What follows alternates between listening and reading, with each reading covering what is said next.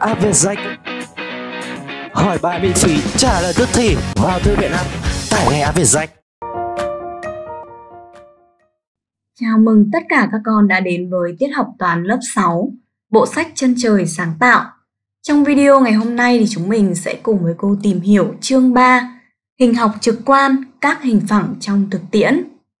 Bài số 2, hình chữ nhật, hình thoi, hình bình hành và hình thang cân. Rồi chúng ta sẽ quan sát cho cô vào hoạt động khởi động nào. Đề bài yêu cầu con hãy quan sát hình dạng của bức tranh, cái diều, tấm bìa, mái nhà rông. Em có biết đó là các hình gì không? À với hình đầu tiên chúng ta thấy rằng bức tranh của cô có dạng hình chữ nhật, đúng nào? Cái diều này sẽ có dạng là hình thoi. Mái nhà có dạng là hình thang cân. Còn tấm bìa của chúng ta thấy rằng ở đây có dạng hình gì đấy ạ? À đây sẽ là hình bình hành, đúng chưa nào? Vậy trong bài học ngày hôm nay chúng ta sẽ cùng với cô tìm hiểu phần một nhỏ hình chữ nhật. Cô có hoạt động khám phá số 1 như sau. Cho hình chữ nhật ABCD.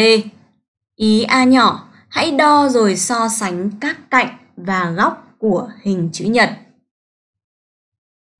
Sau khi thực hiện đo thì cô thấy rằng độ dài cạnh AB bằng với độ dài cạnh CD và bằng 4,5 cm. Còn độ dài cạnh AD bằng với độ dài cạnh BC và bằng 2,5 cm. Tất cả các góc của hình chữ nhật thì bằng nhau và bằng góc vuông, được chưa ạ? Hình chữ nhật của chúng ta sẽ có 4 góc này. Góc tại đỉnh A, góc tại đỉnh B, góc tại đỉnh C và góc tại đỉnh D. Được chưa nhỉ? Ý B nào. Hãy kiểm tra xem hai cặp cạnh AB và CD, BC và AD có song song với nhau hay không. À chúng mình sẽ kiểm tra cho cô xem là các cặp cạnh này có song song với nhau hay không bằng cách dùng eke để kiểm tra. Được chưa ạ? Sau khi dùng eke để kiểm tra thì cô thấy rằng AB này có song song với CD và BC cũng song song với AD. Ý C, AC và BD được gọi là hai đường chéo của hình chữ nhật. Chúng mình hãy đo rồi so sánh cho cô cạnh AC và cạnh BD. Hình chữ nhật ABCD của cô thì sẽ có hai đường chéo, đó là đường chéo AC này và đường chéo BD. Được chưa ạ? Hai đường chéo này thì đang cắt nhau tại điểm O. À, chúng mình sẽ sử dụng cho cô thước thẳng và đo thì cô thấy rằng hai đường chéo của hình chữ nhật này bằng nhau và cùng bằng 5,1 cm. Từ đó chúng ta sẽ có cho cô phần kiến thức trọng tâm như sau. Hình chữ nhật ABCD có 4 đỉnh, đỉnh A, đỉnh B, đỉnh C và đỉnh D. Hai cặp cạnh đối diện bằng nhau, cạnh AB bằng cạnh CD, cạnh BC bằng cạnh AD. Hai cặp cạnh đối diện song song với nhau. À đây cô có cạnh AB này, song song với cạnh CD. Cạnh BC thì song song với cạnh AD. Ngoài ra chúng ta có bốn góc tại đỉnh A, đỉnh B, đỉnh C và đỉnh D bằng nhau và bằng góc vuông. Cuối cùng cô có hai đường chéo bằng nhau và cắt nhau tại trung điểm của mỗi đường. À, có nghĩa là AC sẽ bằng với BD và OA bằng OC, OB bằng OD. Được chưa nhỉ? Hay nói cách khác là OA bằng OB bằng OC bằng OD. Đúng không ạ? Rồi chúng mình quan sát cho cô vào phần ví dụ số 1. Đề bài yêu cầu con hãy vẽ hình chữ nhật ABCD với AB bằng 5 cm và BC bằng 4 cm. Cách vẽ như sau. Bước số 1, con vẽ cho cô một đoạn thẳng AB dài 5 cm. Được chưa ạ? Và đoạn thẳng BC dài 4 cm vuông góc với nhau. Chú ý cho cô là chúng ta sẽ sử dụng thuốc eke để vẽ hai đoạn thẳng này vuông góc với nhau nhé. Và vuông tại đỉnh B này. Tiếp tục. Qua A thì con vẽ cho cô một đường thẳng vuông góc với AB. Tiếp tục, qua C con vẽ cho cô một đường thẳng vuông góc với BC và hai đường thẳng đó sẽ cắt nhau tại điểm D.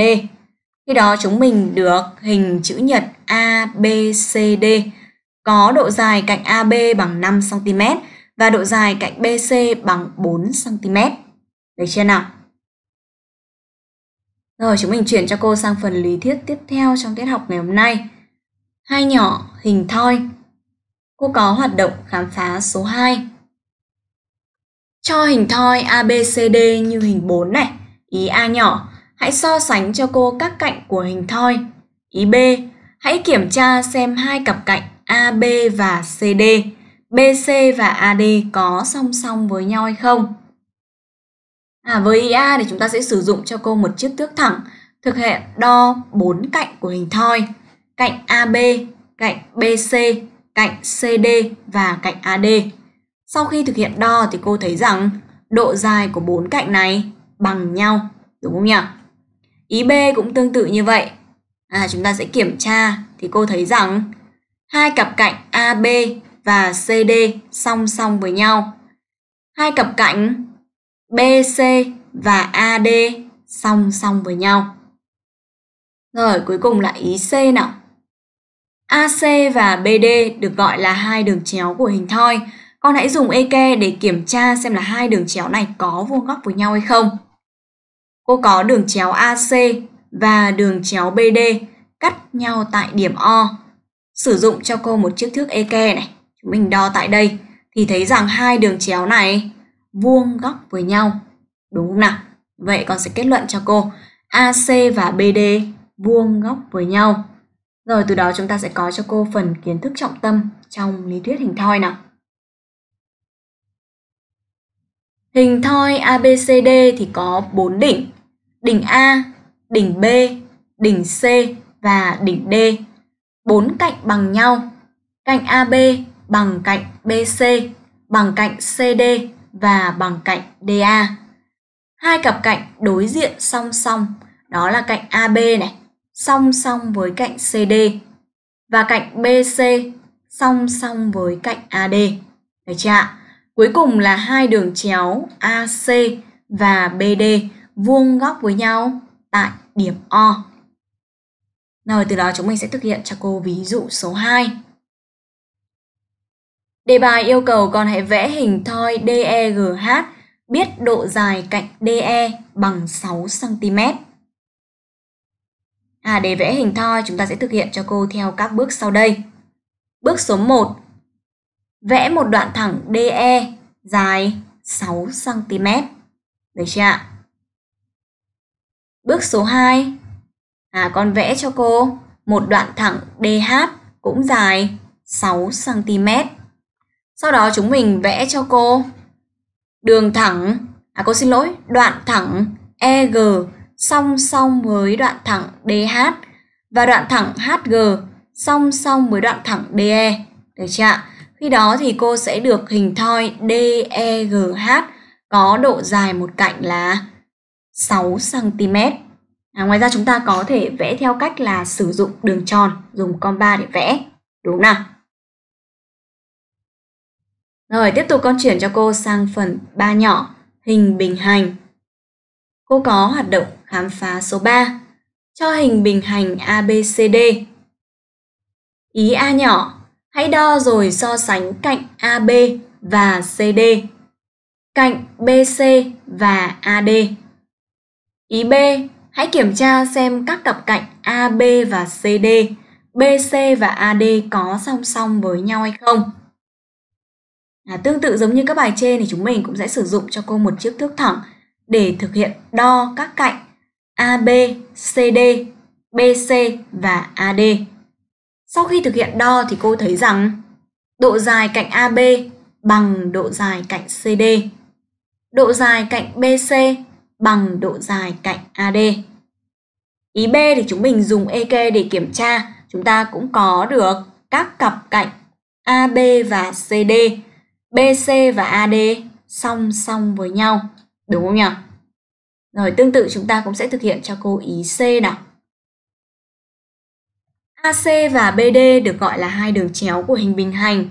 Hai đường chéo này sẽ cắt nhau tại điểm O. Con hãy so sánh cho cô OA và OC, OB và OD.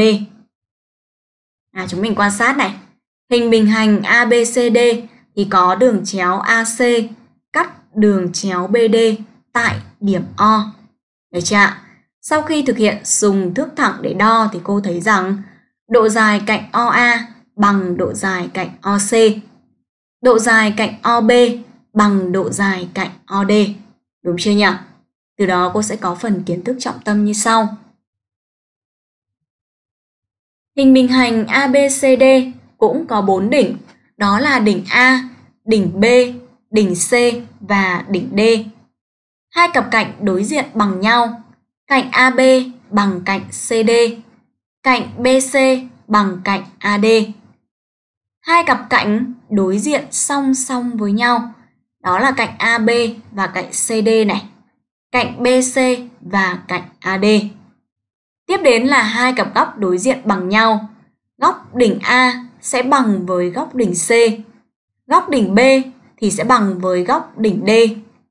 Cuối cùng là hai đường chéo cắt nhau tại trung điểm của mỗi đường. À, có nghĩa là cô sẽ có AOA bằng OC, OB bằng OD. Đúng chưa nhỉ? Rồi từ đó chúng mình cũng sẽ có cho cô ví dụ số 3 như sau. Thực hành vẽ hình bình hành MNPQ, biết rằng MN bằng 3 cm và NP bằng 6 cm. À, để vẽ được hình bình hành thì chúng mình sẽ thực hiện cho cô theo hướng dẫn sau đây. Bước số 1, con vẽ một đoạn thẳng MN dài 3 cm. Bước số 2, vẽ đoạn thẳng NP dài 6 cm. À, bước tiếp theo, chúng ta sẽ vẽ cho cô một đường thẳng này song song với đường thẳng NP. Và từ P, chúng ta cũng sẽ vẽ cho cô một đường thẳng song song với cạnh MN. Hai đường thẳng đó sẽ cắt nhau tại điểm Q. Và từ đó chúng mình được hình bình hành MNPQ với độ dài cạnh MN là 3 cm và độ dài cạnh NP là 6 cm. À, về cách vẽ hình bình hành thì chúng ta cũng có thể thực hiện tương tự như hình thoi, đó là sử dụng compa vẽ đường tròn, đúng không ạ? Rồi con chuyển cho cô sang phần cuối cùng trong tiết học ngày hôm nay, bốn nhỏ hình thang cân. Hoạt động khám phá số 4. Cô cho hình thang cân ABCD ý A nhỏ. Hãy đo rồi so sánh hai cạnh bên BC và AD. Ý B, hãy kiểm tra xem AB có song song với CD hay không. Ý C, AC và BD được gọi là hai đường chéo. Chúng mình hãy đo rồi so sánh cho cô AC và BD. Nào với ý A. Sau khi dùng thước thẳng để đo thì cô thấy rằng hai cạnh bên BC và AD bằng nhau và cùng bằng 3,05 cm. Ở ý B thì dùng EK để kiểm tra cô thấy rằng cạnh AB song song với cạnh CD. Cuối cùng là ý C chúng ta cũng sẽ sử dụng cho cô một chiếc thước thẳng để đo thì cô thấy rằng cạnh AC này bằng với cạnh BD và cùng bằng 4,8 cm. Được chưa ạ? Như vậy con thấy rằng hình thang cân này có hai cạnh bên bằng nhau này.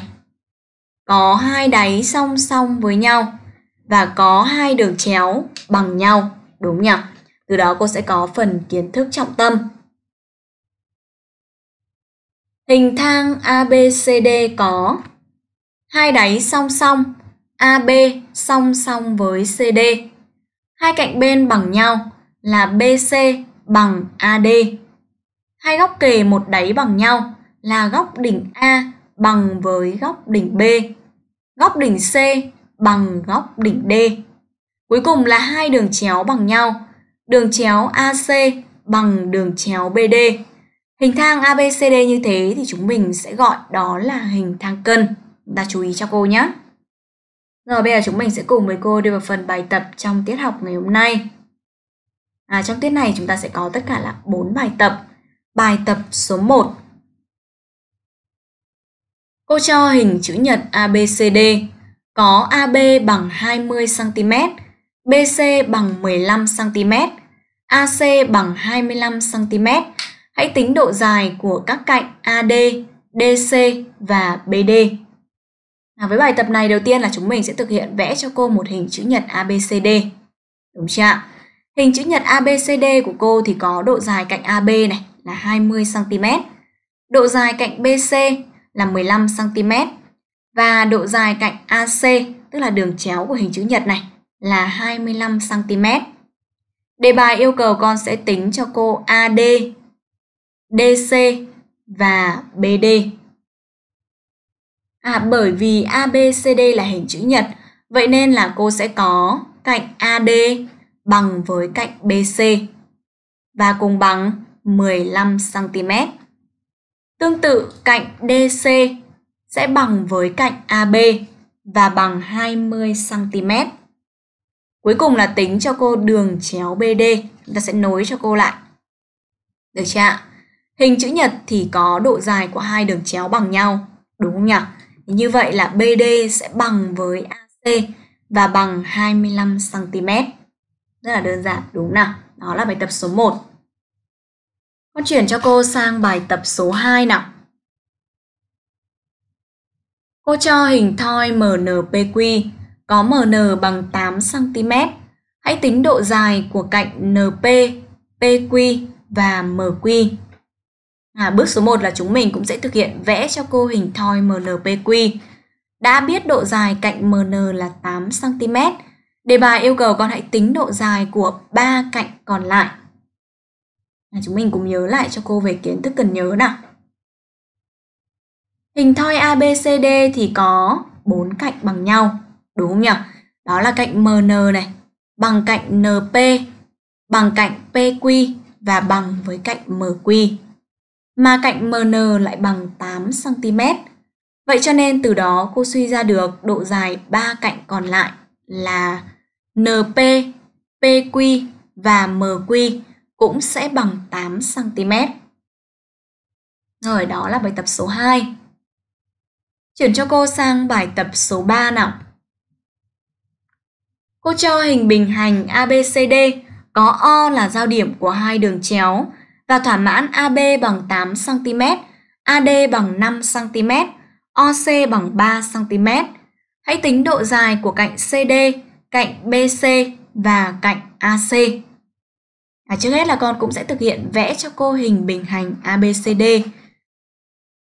Có hai đường chéo là AC và BD giao nhau tại điểm O.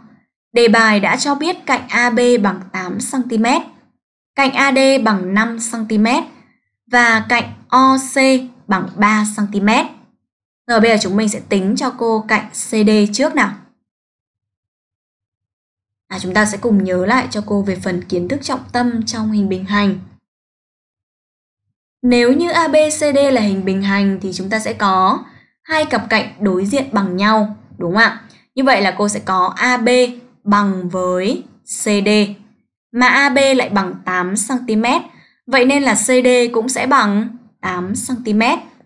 Tương tự như vậy, cô có AD bằng BC, mà AD bằng 5 cm, vậy nên BC cũng sẽ bằng 5 cm. Cuối cùng là con sẽ tính cho cô độ dài cạnh AC nào. À, trong hình bình hành thì hai đường chéo sẽ cắt nhau tại trung điểm của mỗi đường. Đúng không ạ? Như vậy cô sẽ có độ dài cạnh OA bằng độ dài cạnh OC. Phải không nào? Mà OC lại bằng 3 cm. Vậy nên là OA cũng sẽ bằng 3 cm. Hay nói cách khác là AC sẽ bằng OA cộng OC. Đúng chưa À, hoặc chúng mình có thể ghi là bằng 2 lần cạnh OC và bằng 6 cm. Rồi đó là bài tập số 3. Con chuyển cho cô sang bài tập cuối cùng trong tiết học ngày hôm nay, bài số 4. Cô cho hình thang cân EGIH với cạnh đáy là EG và IH. Biết GI bằng 3 cm, EI bằng 7 cm, hãy tính EH và GH. À, giống như ba bài tập trên thì chúng mình cũng sẽ thực hiện vẽ hình cho cô trước, được không ạ? Cô có hình thang cân E, G, I, H. Chú ý cho cô là hai đáy ở đây sẽ là EG và IH. Đề bài đã cho GI bằng 3 cm và độ dài đường chéo EI bằng 7 cm. Và đề bài yêu cầu con hãy tính EH và GH. GH của cô chính là đường chéo còn lại của hình thang cân này. Rồi chúng ta sẽ cùng nhớ lại cho cô nào. Trong một hình thang cân thì hai cạnh bên bằng nhau, đúng không? Như vậy là EH sẽ bằng với GI, mà GI thì lại bằng 3 cm rồi. Thế như vậy là EH cũng sẽ bằng 3 cm. Tương tự như vậy, trong hình thang cân thì cô cũng có hai đường chéo bằng nhau. Đường chéo EI bằng với đường chéo GH. Mà EI lại bằng 7 cm, vậy nên cô cũng suy ra được GH bằng 7 cm. Đúng chưa ạ? Rồi, như vậy là cô trò chúng mình đã cùng nhau thực hiện xong bài tập số 4. Và đây cũng là bài tập cuối cùng trong tiết học ngày hôm nay. Hẹn gặp lại các con trong các video tiếp theo. Cô chào tất cả các con. Khóa học về rách Sự lựa chọn của hàng triệu phụ huynh và học sinh Trải nghiệm ngay khóa học của Vietjet